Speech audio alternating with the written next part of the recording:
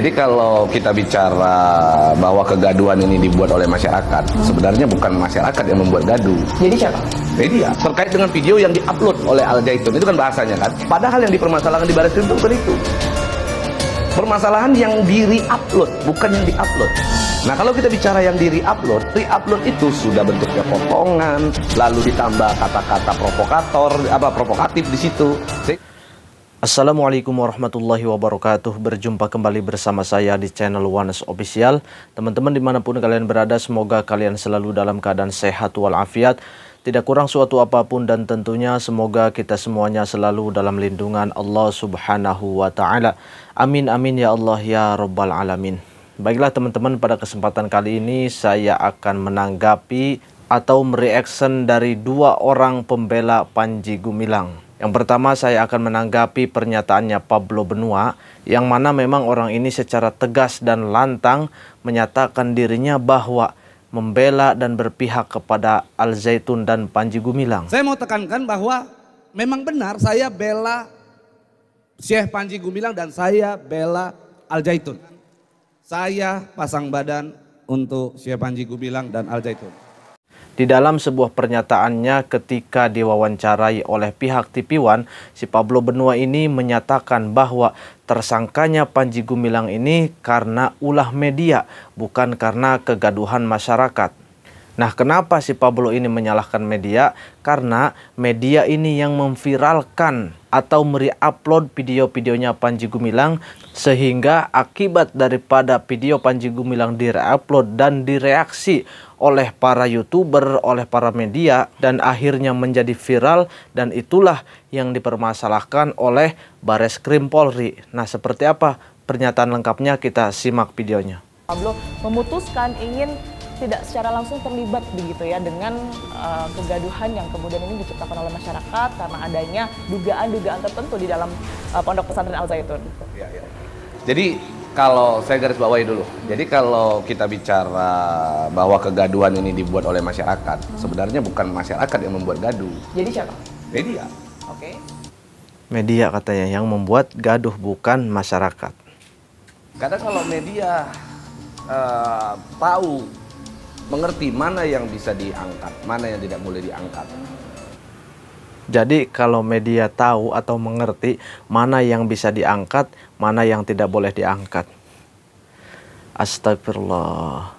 Setiap video yang diupload secara publik di sosial media, maka itu berhak dikomentari, berhak direaksi. Jadi tidak ada larangan itu. Siapa pun itu berhak mereaksi, menanggapi video tersebut karena videonya berbentuk publik. Terkecuali video yang dikirim secara pribadi lalu dipublikasikan, disebarluaskan, lalu dikomentari, lalu dikomentari, direaksi, maka itu yang dinamakan tidak mengerti, maka itu yang tidak boleh diangkat.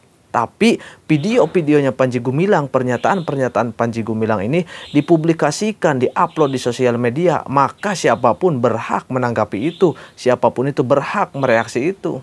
Oke, kita lanjutkan nggak sebegininya gaduh. Sekarang kita pikir deh mbak. Gitu, yang kemudian memunculkan komentar ya, ya. dan juga reaksi publik bang, sehingga ya. media ini juga harus oh. uh, menelusuri begitu ya apa sebenarnya permasalahan ya. yang terjadi. Justru sebenarnya hal tersebut harus ditanyakan kepada Baris Krim kalau menurut saya. Langsung.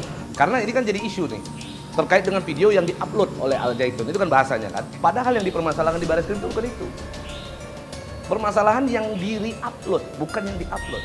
Nah kalau kita bicara yang di re-upload, re-upload itu sudah bentuknya potongan, lalu ditambah kata-kata provokator, apa provokatif di situ, sehingga hal-hal itu yang membuat masyarakat terpicu untuk membuat gaduh. Saya mau ambil satu gambaran begini, Mbak. Kalau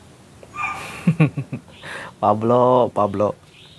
Ya sumbernya kan dari Al Zaitun. Jadi wajar kalau Bares Krim Polri menyalahkan atau mentersangkakan Panji Gumilang karena media atau para youtuber mereupload itu, mereaksi itu, itu karena penyampaian-penyampaian yang disampaikan oleh Panji Gumilang ini menyimpang dan menyeleneh.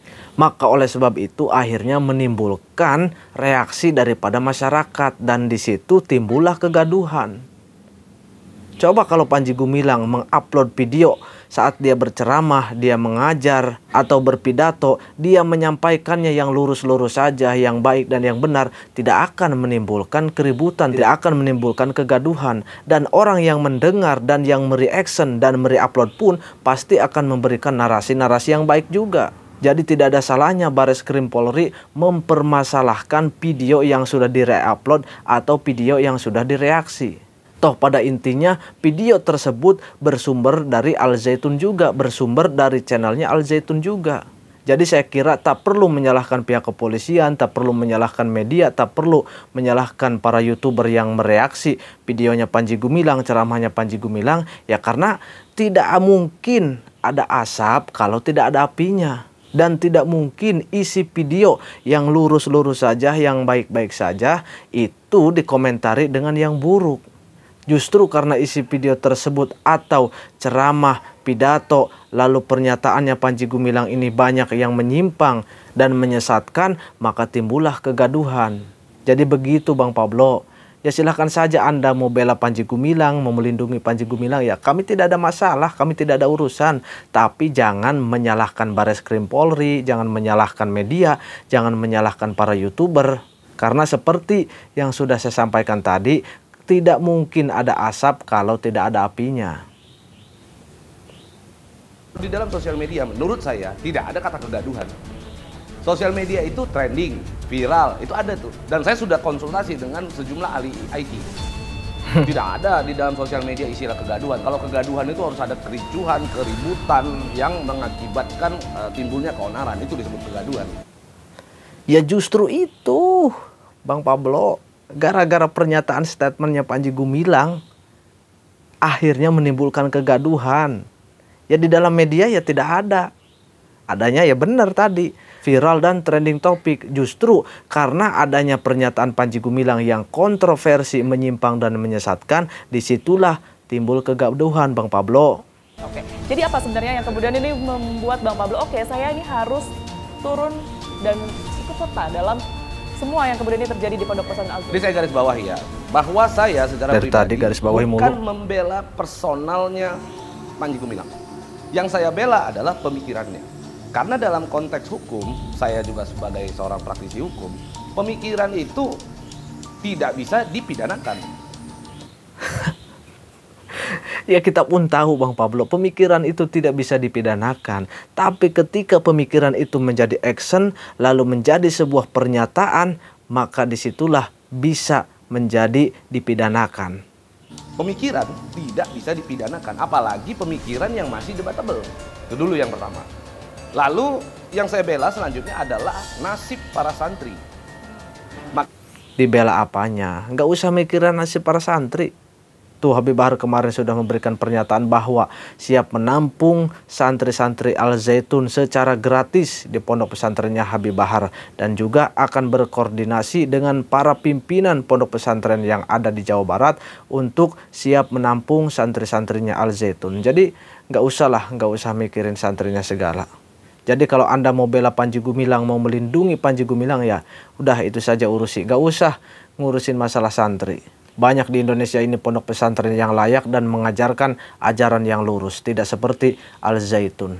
Oke teman-teman saya cukupkan saja menyimak videonya karena durasinya juga sangat panjang. Saya kira cukup jelas ya pernyataan atau pembelaannya Pablo Benua kepada Panji Gumilang. Jadi memang Pablo Benua ini sungguh-sungguh ya bela Panji Gumilang. Ya terserah dia itu. Yang jelas kita sebagai umat muslim tidak akan takut siapa pun yang membela Panji Gumilang yang katanya dulu mau seribu apa namanya pengacara katanya siap membela dan melindungi Panji Gumilang. Tapi pada akhirnya ya Panji Gumilang ditangkap juga ya, ditahan juga oleh pihak kepolisian. Dan kita pun tidak akan gentar dan takut kepada orang-orang yang membacking, yang membela, yang melindungi kezoliman, penyimpangan dan kesesatan. Siapa pun itu kami tidak akan pernah takut. Karena innallaha ma'ana. Allah bersama kita, Allah bersama kami.